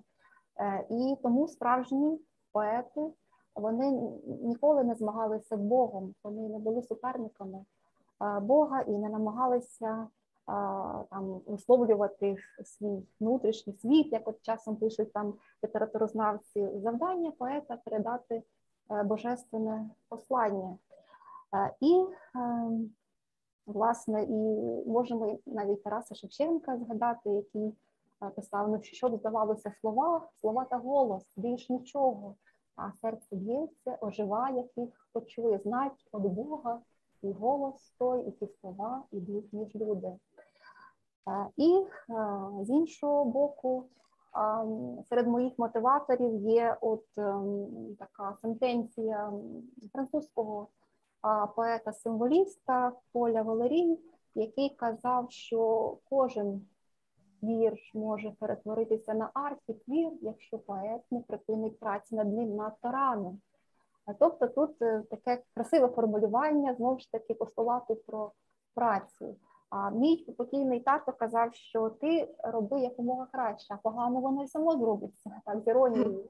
А, тобто праця, праця і ще раз праця, і як писав, скажімо, Буало у своєму трактаті мистецтво поетичне у перекладі нашого улюбленого Максима Рильського, шліфуйте, щоб іще не раз пошліфувати. Так. А з... виникає питання, як поєднати з, з одного боку постулат про е, талант і поетичне натхнення, яке сходить е, з, з небес, а, е, яке має божественне походження, а з іншого боку, постулат, постулат цієї ненастанної праці. А, на це відповідь може дати от мій е, мотиватор наступний, який належить, ці слова належать е, художнику французькому Еженові Делакроа, який казав, що треба ненастанно вивчати техніку свого мистецтва, щоб не думати про неї у хвилину творчості. Тобто, тобто володіння своїм інструментарієм, е, ну в нашому випадку перекладацькому, це звичайно і знання мови оригіналу, мови цільової, тобто нашої рідної української мови. Це знання і літературного контексту, і історичного контексту, і біографії автора, і цілого корпусу його творів. Тобто володіння своїм інструментарієм має бути настільки глибоким, щоб воно діяло навіть навіть несвідомо, щоб воно це знання допомагало у творчому процесі, тобто приступати до творчого процесу найкраще у всеозброєнні, у всеозброєнні знань і перекладача, який береться до певного перекладу, можна порівняти з полководцем, який от е, там з певного пагорба оглядає своє військо, визначає стратегію майбутньої битви. От, Спершу там йдуть вхід, ну якщо там брати середньовіччя, спершу лучники, потім вершники, він визначає, коли який рід військ треба задіяти. Так само і перекладач, що питання стратегії перекладу, вибору цієї стратегії ще до початку праці над перекладом надзвичайно важливе.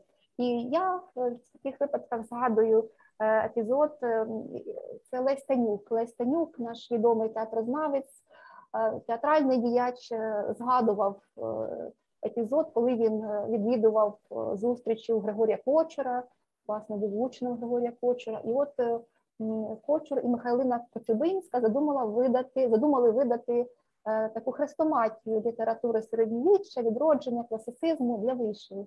І Михайлина Коцюбинська ем, запропонувала молодому Танюкові перекласти дві дії із трагедії Жана Расіна Аталі. Там йдеться про певний епізод з давньої єврейської історії. Е, і от е, кілька місяців у Танюка пішло, пішло на переклад. Зрештою він е, приніс свій переклад на рецензію Михайлині Хомівні. Вона загалом схвалила, зауваг не мала. Потім настала черга Е, Григорія Кочура. Кочур прочитав переклад, знайшов гарні слова, щоб відзначити старання Танюка, е, який і там історію е, давньоєврейську там осягнув і заглибився в сюжет, переклав цей Олександрійський вірш французький шестиступовим ямбом, ніби все як належить. Але Кочур мав одну заувагу, що Танюк не дотримав тут правила альтернансу. А що таке правило альтернансу? Це е, закономірне регулярне чергування чоловічих та жіночих закінчень. Е, ну, Знаємо, що у французькій мові в певний час е, іменники жіночого роду мали саме наголос на передостанньому складі, потім ця риса втратилася, от, але назва жіноча чоловіча Рима збереглася. І оця якість Рим з наголосом на останньому, передостанньому складі. Ем, ці Рими е, повинні в нашій традиції українській чергуватися в перекладі е, надто класичних творів. І е, Лесь Танюк мусив переробляти свій переклад, і звичайно, що великий час, довгий час пішов на переробку. І коли вдруге Танюк приніс свій переклад на рецензію Кочурові, то Кочуров прочитав, знову ж таки відзначив старання перекладача і що правило альтернансу тут враховане, чергуються чоловічі жіночі рими, але е, недотримане правило, згідно з яким е, рядки шестиступового ямбу мають бути поділені цезурою посередині після третьої стопи. А, І знову ж таки Лесь Танюк мусив докорінно переробляти свій переклад. А, ну, Це фактично справді Е, переробити від початку до кінця, оскільки слово поділ має припадати після третьої стопи. Е, і, звичайно, Кочер міг відразу ці дві зауваги висловити, щоб е, Танюк лише раз переробляв свій переклад а не двічі, але, очевидно, можливо, з педагогічною метою Кочер вважав за потрібне ці зауваги висловити ось так послідовно, почергово. І це, звичайно, що це вчить Танюка, навчило Танюка, і це приклад для нас усіх, наскільки важливо перекладацьку стратегію і тактику розробляти детально до початку праці над перекладом. Ось такі поради. Дуже слушно. Так. Угу. Дякую. Приєднуюся до всіх побажань пані Олени. Хотіла б ще побажати. Звичайно, треба перекладати авторів, які вам близькі, і е, обов'язково мати начитку. Скажімо, коли я свого часу читала статті Максима Рисько, пам'ятаю, так вже систематично почала читати саме його переклади. Студентку дуже захопилася і тим, як це звучить, як це суголосно, скажімо, Адам Міцкевич, який просто геніальний та інші переклади, і статті, які дуже мені допомогли і досі допомагають, у тому числі стосовно збереження форми. Є дискусійні питання в Максима Тадаюча, вони там висвітлені дуже цікаво. Так само, як питання українізації, форнізації, хоча тоді вони так не називалися в українському дискурсі. Сьогодні ми їх так звемо. Е, також я порадила б вам, по-перше, звісно, діяти це натхнення, мати вже базу, з якою ви працюватимете, і обов'язково уявляти контекст, культуру конкретної літератури і автора, з якими ви працюватимете. Дещо я вже висвітлила сьогодні, скажімо, до Друна гніву, так само там дуже багато біблійних алюзій і символів. Або, скажімо, воєннича поезія скальдів та інших поетів, з якими я працювала, сподіваюся, працюватиму і за натхненням надалі. Е, це ще й долання стереотипів. От до чого хотіла б вас закликати, тому що е, на жаль, е, дехто вважає, нібито жінки мають перекладати суто жіночу літературу, а чоловіки чоловічу. Насправді це дуже умовне дискусійне питання, і мене так само. Як я казав, у мене дуже багато чоловіків в моєму перекладацькому доробку, хоча жінки поетеси так само є, це дуже цікаві постаті. Також е, зверніть, будь ласка, увагу на ритмомелодику, її особливості, але, на жаль, змушена вам пояснити, Максим Тадеївич це пояснював не зеліоняну краще, ніж я, що закони конкретної мови можуть не вписуватися в закони нашої. Тут треба е, знаходити компроміс, так само, як шестиповий ямб, Олександрійський вірш е, французький, якщо не точно відтворити лексем лексему літеру в літеру, звучатиме наш слух неприродно. Свого часу я з цим зіткнулася. Навіть не так давно, коли переклади, які мене власне знайшли за натхненням, це переклади з палацової літератури Кримського ханату, це поезія кримських ханів. Зокрема, це е, гази або газі Герай хан Друга, його псевдонім Газаї, тобто гази, який пише газелі, і його псевдонім Бора, тобто буревій е, вітер, це якраз був найбільш войовничий хан. І в нього найцікавіше принаймні поезія того періоду. і коли я перекладала для себе це і старосманська мова, і старокримсько-татарська і так далі, тобто ці русські, то е, зіткнулася з тим, що я можу, звісно, перекласти українською дуже точно ритміку, як це звучить. І я таке робила. Але редакція, коли це читала для себе, це на слух це сприймалося Саме промови воно було неприродно.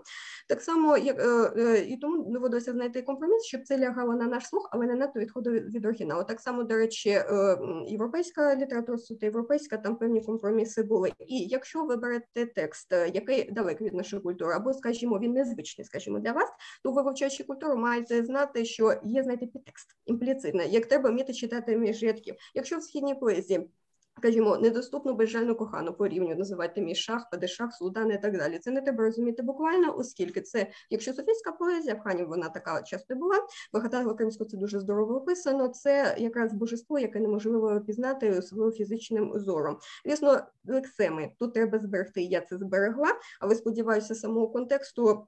Можна вгадувати філософський метафізичний навіть підтекст, наприклад, мені тліє жар, у серці плач, розлука раптом надійшла, моя типаня у мій шах чутів не милиш чужих. Завжди прокладений твій шлях лежи по зламаних гілках, усі на шляху твоїм упали замертво до ніг і так далі. Це газель, яка ніде опублікована не була саме українською, але вона буде, як деякі мої переклади на цінневі так само. І звісно, без загальної культури по-справжньому творити переклад, оскільки переклад це творчість, це підтворення, це теж буде неможливо. І, звісно, увага до форми змісту, скажімо, Максим Рильський писав про канонічні форми, сонети, терцини, октави і так далі. Він писав, що дописування там слів або рядків неприпустиме. І він на цьому робив акцент. Сьогодні ми це знаємо. Це аксіома. Без цього ніяк, будь-які канонічні форми від сонета до газелі і так далі. Але виявляється, не всі тоді це знали. І якщо людина новачок стикається з цим уперше, то можуть бути підводні камені. Так само, звісно, точні рими, е, вловлювання ем, е, цього в конкретного автора. Або ще, якщо питання брати розмір ритму мелодики, то тут у вас вже буде задача перед собою, як це розв'язати цей гордій вузол. Тому що питання, як це звучить в різних мовах. Ну кажу, у мене був досвід перекладу пані Олена в курсі, це е, іспанське романсеро про втрачену аламу. Про алама правильно вмовляє часто альгама іншими мовами. І от там є такий цікавий персонаж правильно арабською альфакі. Це законник богослов. Але але за законами іспанської мови і це романсером не забуваємо так розмір, то наголошено час агліфакі. Там і мені довелося, щоб не порушити ритму, Перекладати так мавральфакі, мавральфакі і так далі е, за сюжетом. Але це власне те, що я не дуже припускаю, не дуже люблю в своїй діяльності. І звісно, як е, вам дуже пощастить, якщо е, вам порадять справжні майстри перекладу, доброзвичливі, об'єктивні майстри, ну, як пані Олена, як в моєму досвіді, так само, які вам можуть підказати і літературу, власне, шляхи, як це робити. Якщо це будуть дружні слушні поради, скажімо, це архаїзм тут зайвий, тобто можна знайти літературне нормоване слово, а перекласти не архаїзмом, оцей діалектизм тут не зовсім годиться, або тут можна технічно доробити. Але ще бути готові до цікавих знахідок на своєму шляху, тому що, власне, скажімо, можливо, це індивідуальна моя така особливість, я вмію відчувати чужий текст і художній, е, і оригінальний, і перекладений, як відчувати іншу людину. Але власне свій текст е, я не можу відчувати, тому що дивлюся зсередини очима і знаю вади, які там є. Як знаєте, е, зворітній бік килима, можливо, так. Але читач, що цікаво, науково підготовлений реципієнт сприймається інакше, він сприймається цілісно, і можна знайти там плюси і мінуси, яких ви самі не бачите. Тому, коли мені кажуть, що переклад просто був случай, для мене це звичайно найбільший комплімент, тому що я чудово знаю, які там є вади. Але якщо це каже справжній метр, значить е, це я маю прийняти, так і є, і е, дуже за це дякувати. От я хотіла б, щоб у вас таких приємних відкриттів, саме сюрпризів, було побільше на вашому шляху, і звичайно, подив науковий подив, творчий подив, тому що все це пов'язано. Хотілося б, щоб у вас була така цікавість, допитливість. Мені імпонує Володимир Саміленко, який писав під псевдонімом Севеньки, перекладав. У нього була така допитливість. Цікаво, як це по-нашому буде. І отак він переклав Данте. На свій час, звісно, це не було форму оригіналу, бо це є, зокрема, Максима Стріхи дослідження божественної комедії, так, але на той час це було просто прогресивно, це було проривом. Також мені дуже хотілося, щоб ви вміли грамотно розподіляти свій час. Я розумію, що у вас буде діяльність, яка відволікає відволікатиме вас, ви віддастеся повністю, але щоб перекладати для вас було задоволенням, щоб ви могли зосереджено працювати взагалі на будь-якою роботою, до якої ви беретеся, будь це власна ваша творчість, наукова чи е, перекладацька. Е, тому е, певною мірою так. І звісно, буде дуже добре, якщо ви вестимете глосарі перекладених текстів, оригіналів, до яких ви беретеся, особисто стосується мов, які можливо власне базові. Скажімо, як це у мене з іспанською мовою, з німецькою, яка мене не базова, так само тюркські мови і так далі. Якби ви побачили, постійно це фізично притягти сюди мої блокноти, записники і так далі, це фактично глосарій розуміння контексту, в якому це слово вказано. Тобто, фактично, це навіть посібник граматики. І також як не бійтеся глядати у словник, не бійтесь також.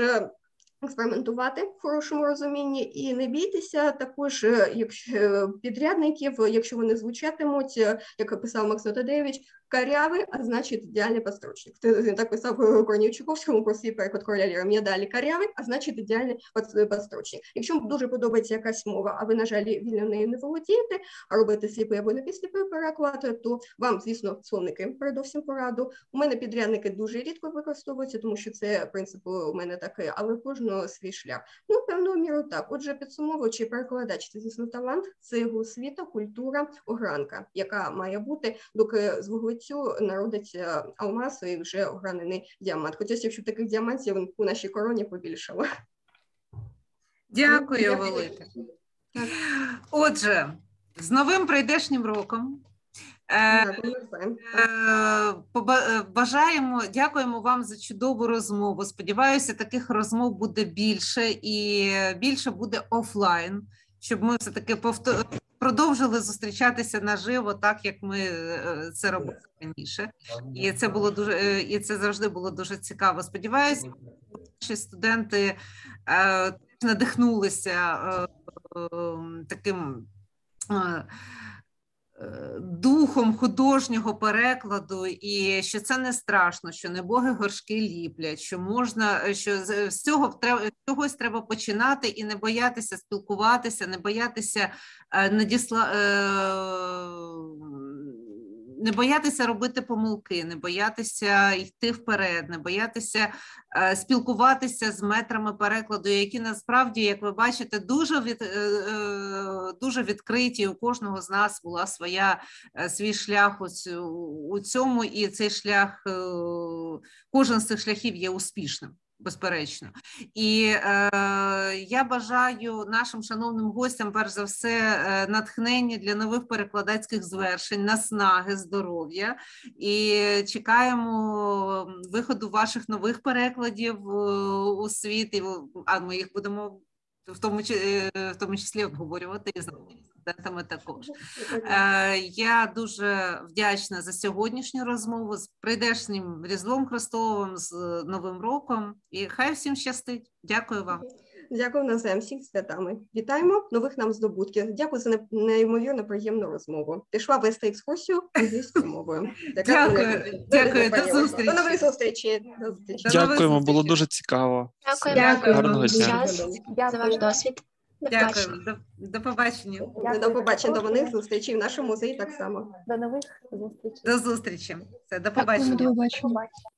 Дякую, до побачення.